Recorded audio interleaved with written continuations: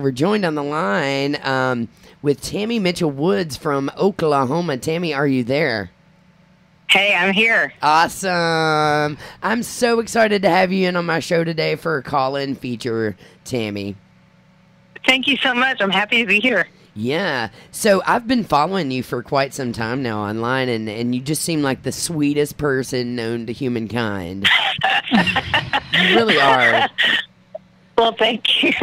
Yeah, and you're an awesome drummer, and I I really get a uh, a kick out of listening to everything that you do and all the videos you put up. And I thought it was so cool that you created the Drummer Girls United. I've got my T-shirt, you know, and all that groovy stuff. That's right. Yeah. Yeah.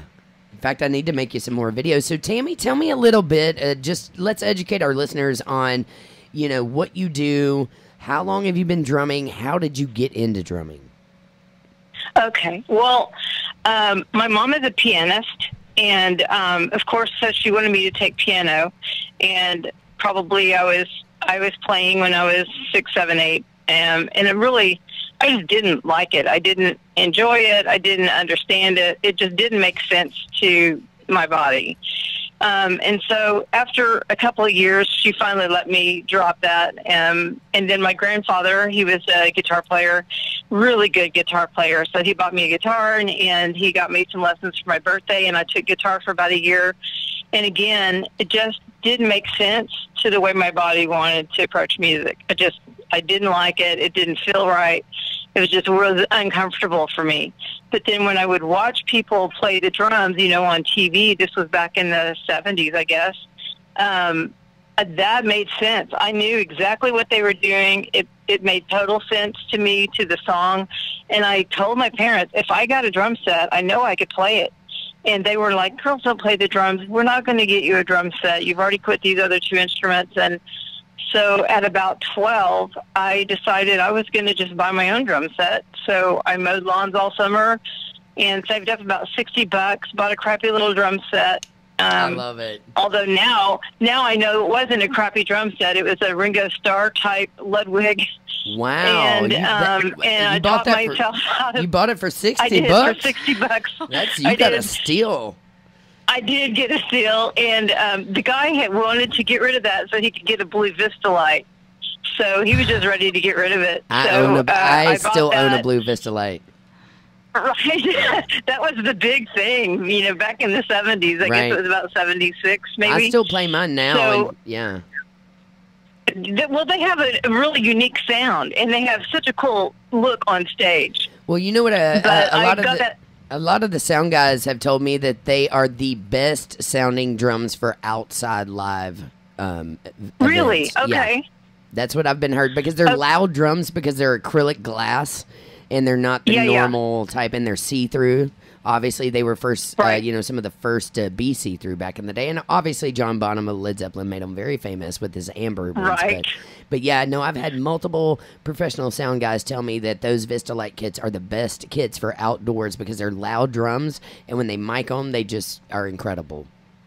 They're booming, yeah. They're they're they're a great drum set. Uh, but that's that's how I started. I I bought myself the kit. I taught myself how to play over the summer at least a little bit, and then to get into seventh grade band, um, I I would have had to have played in sixth grade band. So when I signed up for seventh grade band, I told them, of course I played sixth grade band. I didn't, and of course I know how to read music. I didn't. But um, so I I, love just kind that. of so I just watched the other guys in the drum line, what they were doing as the music was going rolling by, and, and then I tried to copy it, and that's kind of how I learned. And so um, that's how it started for me. Is just um, kind of lying my way through and and making sure that I got a spot, and then just you know forward ahead. You know, I had to learn how to do it, and that's where it started anyway for That me. is amazing. I love your story. I had no idea. That's great. So Yeah. basically, you were not telling the truth about what you knew, and then you ended up playing mm-hmm. drums because of it.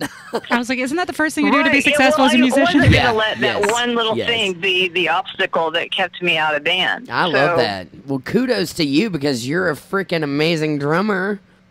Thank you.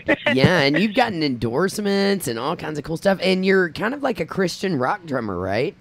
Yeah, well, um, I do play at churches, and um, but then I have my own band that I actually just started. I, w- I was playing in some cover bands and some different things, and I've been playing at churches ever since I was a kid. Yeah. But um, I just started a new band, and um, th- I play with part of this group on Monday nights at a church, and then it's such a solid band that we thought, why aren't we out gigging together?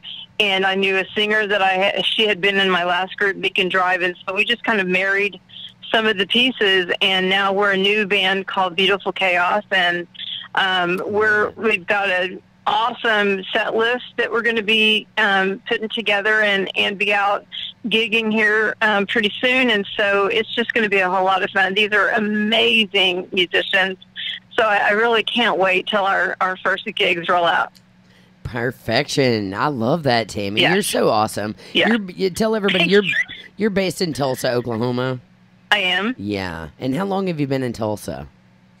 Uh, we've been well. I I grew up in Muskogee, so I'm an Okie from Muskogee. True. I love that. um, which is you know about 45 minutes away, and um, and so it's so I moved to Tulsa area in Broken Arrow. It's an out out right outside of Tulsa, uh, about 15, 18 years ago, and I've been here since then. So um, yeah, I've so been- do you know- where I am now? I've actually been to Tulsa several times, and I, if I'd have known you Really? then, I would have. Yeah, because I worked in television for Warner Brothers for a long time, hence all my video Okay. work and my editing skills. Okay. And um, they flew me. We had a sister station in Tulsa, and I flew there to learn uh, the Avid editing system.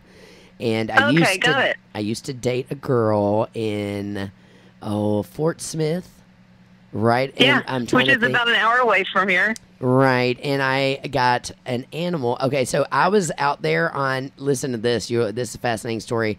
When the internet came out, and I'm sorry, mom, if you're listening. when the internet first came out, and you could date online, I found this girl online that I really liked, and she was in Oklahoma. Muldrow, I think, was the name of it. Muldrow, yeah. Muldrow. And so I got on a plane and I flew to meet her. And I bought a dog while I was out there in Stillwater, Oklahoma, which was a Oh, little yeah? Yorkie. He was my favorite little Yorkie ever. And me and him got on a plane and we're flying back home on 9 11. 2001 gosh. and I was in on a plane coming from Oklahoma to Memphis when I got to Memphis I was getting ready to board for Louisville, and they backed the plane up and made us evacuate and shut down all the airports. Jeez. 9 11 happened. That's scary. Yeah, right? And all because, and this was back, I mean, I was kind of ballsy. This was back before you could even really put pictures on the internet. So I didn't even know Yeah. what anybody looked like. I just took a wild, wild chance. So, yeah. Right. I've lived some pretty crazy, pretty crazy stuff. Yes, and then, yes, I have. Yeah, I've, I've just followed my heart my whole life, basically, which has gotten me in a lot of trouble. But that's okay. I'm just over here shaking my head like, oh my god. I know. Can you imagine if I was your child? No. yeah, because I was early twenties. It was I was literally like 21 years old when that no. went down. Yeah. Oh, Oh, that's scaring me so much right now. Yeah, I me know. too. Sorry, sorry, sorry. I lived through it, and here we are now. Yeah, this, you're we're still alive. Twenty something years later. Yeah, but that was my favorite little dog, Oz. He ended up passing away not too long ago. Broke my heart, but I had him for a Sorry. long time. Yeah, he was the cutest little thing though. But he came from uh, Stillwater, Oklahoma, which I always loved. Okay. And then later on, uh, early 20s, of course, I'm working for Warner Brothers, and they flew me out there, and I did a lot of work in Tulsa. So I've been there.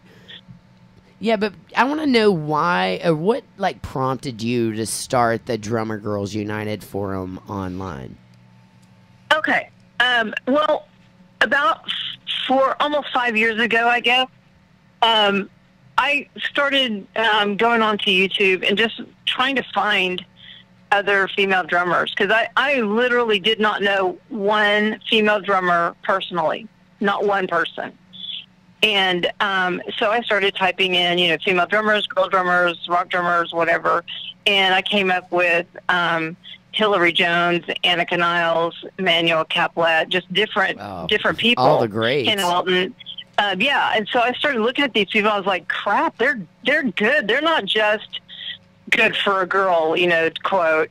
I hear that crap all the time, which is which is infuriating. But these were some fantastic musicians, And um, and then I started looking it up on Facebook and seeing if they had other videos and uh, a presence there. And and I actually wrote to these um, to Hilary and to Anika and to Emmanuelle, and we started writing back and forth and becoming buddies. And then I actually took my first drum lesson from Anika via Skype the day before my 50th birthday. Wow. And um, yeah, so I had never had a drum lesson, and I didn't know how to really read drum music because I kind of faked my way through, all the way through, you know, junior high, high school, my first year in college. Um, I was a I was a pretty decent drummer, and so they just kind of gave me a pass that I didn't really have a strong reading skills because I had such good feel to it. They could just tell me what to do, and I would do it. And so, or if I saw somebody do it, I could copy it. And so I was, um, I just kind of got through that way. And, um, and so I started working with um, Anika a bit, and then I hired Emmanuelle to teach me some things, um, her direction. And so anyway, that's kind of how it started. And then I thought, wouldn't it be kind of a, I'm, I'm typing to one person, then to another, to another. Wouldn't it be great if I had them all in one place on Facebook? So we could all share ideas, and um, I could see where they were going to be touring, and and we could talk about lessons and different things. Just like a group of us, we could talk about what we're all interested in, which is you know everything drumming. So I created this group and started adding my female drummer friends, and then they started wanting to add their female drummer friends. And then I started looking for female drummers on Facebook and in different forums and invited them to come. And now, you know, we're 1,200 strong, about 65 countries. And uh, daily, I'm getting more and more and more people asking to be part of this group. And then, of course, Dan Schinder got, um, you know, word about this group, and he invited me to come on, and he started sharing my videos, and he's interviewed me, and of course, we've met, and and he's done some great things to promote um, our group w- within Drum Talk TV, and Yeah. so it's just kind of blossomed from there. But it's become a real my my goal for it is to be a, a place of encouragement and a place of education and kind of a place of camaraderie for female drummers or even females that want to to start playing or want to be around other musicians, girls that play the drums and they're thinking about getting into it or maybe their daughter wants to play or something. This would be the place because Right. there's no um, level that's not acceptable in this group. So we've Yeah. got professionals that are touring with big artists, and we've got people that just picked up their first pair of sticks this week. So everything in between, and it's all acceptable, and we're all very willing and able to share information as people want it. Yeah, well, kudos to you. I've met some of the coolest female drummers from that site, and of course, I'm Yeah, always seriously. I'm always posting my drummer cam videos when I'm out playing, and um, just my you know memories will pop up of things that I've done. I always share it in there, and then next thing I know, like well, just yesterday, one of the younger female musicians reached out to me behind the scenes and was asking me questions about teaching and you know what, what my uh, Yeah. you know, opinion was about her doing this or that or whatever, you know, and they'll ask me questions about technique or, yeah, or reading a piece. A lot of people reach out to me because I read so good, you know, because I've been Right. teaching for 12 years. Um, and I mean, you know, I'm like 20 musicals deep, and I- I've always read music, and I can fly through reading drum set music. My sight reading skills are like off the charts. So a lot of people contact me about reading a piece or reading a snare piece or something like that, and then I always make them a video. Thank goodness for technology, and then be like, "This is how you play it," and then send it back, and then they're always like, "Wow, thank you so much." You know, I always try to, you know, network online, and thanks to you, I can do that. Um, and not only that, but I wanted to ask you another question because you have actually Okay. met Viola Smith, who is like one of my idols. And there's Yeah, a, I love her. There's a famous picture of you online um, with Viola, and I'm like, how was that? Yeah. Because I talked to Dan Schinder yesterday, and I was telling him, you know, I'm on a book, uh, a women drummers book, and it's all about her basically. But I've never met her, but I send her birthday cards every year telling her thank you for everything you've done for women um, in music and women drumming and, and whatnot. And, you know, how was meeting Viola Smith? Because she's historic. Yeah, she's she's an amazing person. Um, I, I'm friends with Carl Newman, who is the nephew of Bill Ludwig. And um, Carl and I were PMing back and forth on Facebook, and uh, we were talking about different drumming things, you know, just as we all do. And um, he was saying, "Hey, have you ever heard of Viola?" And I said, "Well, Viola. absolutely." She was like. Is it uh, viola? well, I guess you know, Viola. Kentucky. I, I called her Viola. She didn't correct me, so I don't know if that's right or not. uh, but Love that. But he said, "Have you ever met her?" And I said, "Oh my gosh, that's a dream of mine, but I, I figure I never will." And he said, "Well, you know, um, if you're coming to the NAMM show, she's outside of L.A. about an hour. Maybe I could set something up." And I was like, "No way." And he said, "Let me make a few phone calls." And I said, "Oh my gosh." So he had done an interview with her, and I've seen it, and I've commented, and I guess that's how we started talking about it. But um, he called me back and he said, I've set it up. If you can go on this day at this time, um, she wants to spend the afternoon with you and you can have lunch with her and talk. And I said, Oh my gosh, I, I, I was floored. So I showed up and I had uh, my iPad and she allowed me to have it on the table and I just let it roll while we were talking and eating and she shared all kinds of stories with me about playing for all the different presidents and being in big bands and touring with all these other musicians and all these stories with all these, you know, people back in the 20s, 30s, 40s, 50s that we all know of, but those were just her buddies and, um, you know, people that she toured with. Uh, it was, it's incredible. And then a lady that I guess as her assistant, she brought out a stack of papers for me that she had copied, just kind of her story in her own words, and she had it typed and gave it to me. And um, I was like, oh man, it was like it was a treasure to me. And then I took a couple of pair of new sticks. I signed a pair for her. She signed a pair, and I kept them. And then we did like drum rolls on the table, and I, I filmed some of that. And um, I've actually never edited it all down and put out the the the film. I need to do it just because it's us sitting there talking and, and eating, and maybe not too exciting to anybody else, but it was the thrill of a it's exciting to me. me. because I I still have yet to meet her. Um, Angela Smith, who wrote the book um, "Women Drummers," I think they're kin somehow because she's out in Austin, Texas, Okay.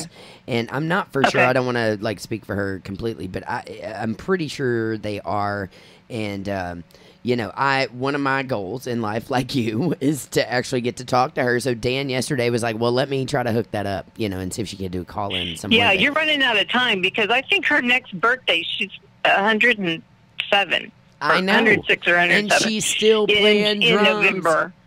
Yeah, there's yeah, a. um, I was looking online to try to find her famous um, video. One of my favorites is, uh, and I can't pronounce their name, but it's basic. Is it the Coquettes? Is that how you say it? yeah. The Coquettes, Yeah. the famous video of her drum solo. And, you know, I try to teach my students this. A lot of people don't know. The drummers were usually the band leaders back in the day. They sat right up in front, and the whole orchestra and singers were behind them. So Right. she was like at the forefront of that. And I call her my shiro um, because, Yeah. um, and oh, can, she's a 'cause she- pioneer. if you saw Oh. the way she had her drum set set up, I mean, we didn't see other drum sets come about like that for years Correct. after that. And in fact, Dan couldn't even remember what the name of those drums are. They look like little taiko drums, like the Japanese taikos that sit on the side and you hit them with the sticks above your head. Um, Yeah, she yeah. ha- She, always played with those on each side of her, which was really cool. And I'm looking That at the video right now In, here. ingenious. It is Um, you know, she was with Gretsch, and she was also with Ludwig. Uh, Yeah. She, I know she was with both of those for for a few years. Uh, she was with Gretsch first, I believe, and then she went with Ludwig. I think that's how it ended up. Yeah. Uh, Yeah, and I tell you what, uh, it's a dream of mine, and I know I'm running out of time. I'm trying to get to her before she gets any older. But every every November, I think her birthday's in November, or October. I always send her a happy birthday, Viola. I love you. Thank Yeah, you for doing everything that you've done. November, right? Thank you for doing what you do for women drummers and being a pioneer because she was really getting some flack back in the day. You know what I'm saying? I mean, women Yeah, were supposed to be yes. home with the kids and doing all that stuff that you do, and uh, she was like, "Nope, I'm gonna go play drums and be one of the best female drummers of you know humankind." And she was she was amazing. Yeah, Yeah. So do no you one like her. do you have um, any other idols? I'm sure you do. Growing up, were there? Because I mean, I don't know how old you are, and I'm not going to call you out on on uh, radio, Oh, but I- that's okay. I'm I'm 54. okay, 54. So I was born in 65. Okay. So when you were growing up, obviously we didn't see a whole lot of females. I mean, I know that I only saw Karen Carpenter and Sheila E. That's all I knew about. Um, did you have? Yeah. Um, when I was a junior or senior in high school is when the Go Go's hit it big. Yeah. And so that was the very first female drummer that I had ever seen. Hey, by I the- had never seen anybody else play. Can I, I want to tell you this because I don't know if you've been listening to our show, but uh, last week I had Alice de Buhr on, who is the female Wow. drummer for Fanny, and Fanny was well, she was the first female drummer. They also they had a second female drummer named Brie Howard, but they were out in L.A. and she they were the first female band signed to Capitol Records ever in the '70s. You know, rock and rollers back in the day when you weren't supposed to be, and she they helped get the Go Go's their career started and she managed the Wow. Go Go's. Yeah, and then I, I had Janet. Amazing. I had Janet Robin on yesterday, who is my lead guitarist in L.A. Um, and she studied under Randy Rhoads of Ozzy Osbourne, who wrote Crazy Train and all this really cool stuff. Wow. And she was telling me, you know, she's great friends with the Bangles and a lot of those go-go chicks because she she grew up basically on you know Sunset Strip out in uh, Beverly Hills and Yeah. Hollywood playing her whole career, but she went on to tour with um, Lindsey Buckingham and Meredith Brooks and all kinds of like really awesome Nice. players. But the Go Go's keep popping up here on uh, on this station. But I was a big fan of them too. Yeah. Yeah. What about the Bangles? Because you know uh, Debbi and Vicki Peterson, the sisters, they started the Bangles, and I don't know if you paid attention yeah, to them well, too. For me, it was the Go Go's, and then you know I found out that Karen Karen was my favorite singer back Carpenter? in the day. But then I, yeah, Yeah. then I realized she was a drummer, and she wasn't just a drummer; she was an amazing drummer. Uh, she studied And under Hal Blaine of the Wrecking Crew, who basically played on every TV show and Sonny and Cher and the um, oh the Beach Yeah. Boys, yeah, all those tracks. oh, he's a legend. Oh, yeah, super legend, yeah. yeah. So yeah, they were they were the two that, that I guess would would really be my heroes back back then. Yeah. Well, that's that's super Yeah. rad. You know, I only had like guy drummer influences, Bonham, and um, I mean, I just loved everybody. I was a classic rocker, so I liked all the rock and roll Yeah. stuff. Obviously, if you're a drummer, you gotta love that stuff. And then as I grew older, I started to get into like Bernard Purdie, Steve Gadd, uh, uh, James Gadson, of Bill Withers. You know, uh, gosh, there's so many, and uh, Tony Williams. Tony Williams is one of my all-time favorites. Of course, he was with Miles Davis. I was talking about he is so good. He was like a virtuoso when he was a kid. And when Yeah. you if you watch his videos, I mean, he is so good. You don't even know where his count one is. You can't even figure out what he's doing. And I'm one of those drummers Yeah. that anything I hear, I can write it out by hand and notation. And I Yeah. mean, he's one of those drummers that I would have no clue how to write out any of his stuff. You know. Yeah, yeah. He's just he was amazing. I mean, mind blowing. I like you know Steve Smith. Oh man, there's so many. Jeff Porcaro. You know all the greats. Oh, yeah. basically. But as far as females are concerned, Yeah. I mean Sheila E. Viola Smith, Allison Miller is a great friend of mine. She toured with everybody. You know, from Brandi Carlile to Natalie. Um, oh, the chick of uh, Ten Thousand Maniacs. You know, I forget her name. Oh, yeah, Yeah. okay. Anyway, yeah. So, um, I mean, there's so many these days. Cindy Blackman Santana, fantastic. Oh, People love Yeah. Meg White, you know, of the White Stripes. Um, right. all kinds of really cool drummers. But I tell you what, out of all of the female drummers I have seen live, you have some of the best female drummers in that group because their videos Yes. from is it Julian? Um, her Juliana, videos, Juliana, her videos, uh, Akita. I mean, some of the chicks that you've met over your career is just amazing to me. Yeah. It's crazy that five years ago, I didn't know one female drummer. And now, I mean, Dan calls me the most connected female to female drummer in probably anywhere. I know, are. I know so many of them. Yes, you do. Um, and that's just happened in a, in a few years. And, um, and I'm not really even sure how it happened. It just has happened. I've become friends with all these these female drummers, and it's become a really tight sisterhood and a really uh, um, awesome community Yeah. that we've created, and we keep it really positive and and a happy place and a safe place for everybody that wants to be part of it. And and a lot of people will tell me sometimes when I go on Facebook during the day, this is the only group that I even stop by to check on because I just know it's going to make me feel happy when I'm there and So I, I love that. I, it's Me kind of a little, you know, kind of a little mission for me to to keep this going. Yeah, well, I appreciate everything you've done for the female drumming community. I'm a big fan of yours. I love to watch your videos. you. You you just make me you. happy. I like anybody who makes me happy. And you um, just watching you, you can tell you're just a musician, kind of like me. I you know, I do it because I love it. It comes from my soul and my heart and uh you know, Yeah, if I'm not playing, I'm not happy. I go crazy sometimes. So I like to just keep playing, and and it's always cool to meet um, powerful, positive females who encourage other females to be their best. Yes. Yeah, Absolutely. So I appreciate everything you you've it. done. So Tammy, listen, we're gonna wrap it up, but I want you to tell everybody if they want to get um, on the Drummer Girls United forum, they can go to Facebook. Obviously, if they want to check out your bands, where do they go? Um, it, well, actually, we're going to be opening up a band page uh, soon. I just haven't done it yet because I'm not finished with our logo. But Okay. um, if they want to go to my um, fan page, it's Tammy Mitchell Woods Drums, and then I will post all of the new information about my band um, there. And then Cool. if they want to join us uh, with the Drummer Girls United group, they just go to Facebook, look for Drummer Girls United. Uh, there's going to be a couple of questions. Are you a female drummer? And tell me anything about your, your drumming experience. And it can be, I just learned how to play, or I've been playing since I was, you know, three. I don't, I just need to know that you, you are who you are. And then welcome to our group. I hope you enjoy it there and find a lot of friends and, and get a lot of education. And you can share with us just like we'll share with you. And um, it's going to be good. Fantastic. Well, I just love you, Tammy. You're just awesome. So keep rocking it Love out as too, always. Keep posting your videos. keep being positive. Hit me up behind the scenes if you ever need anything. You know, I'm always here for you. I'm always saying a prayer for you too. I promise. Because I, I know Yes, uh, and we need to do a collaboration. I still think. I would love that. I would absolutely love that. Yes, and I know that you you're dealing with uh, some health issues, so I always say a little prayer for you uh, very often. Thank you so much. You're very welcome. Tammy, uh, you take care, and I'll be talking to you soon. Thank you for calling in on LRS102.com. All right. Thanks, girl. Bye bye. right, bye bye.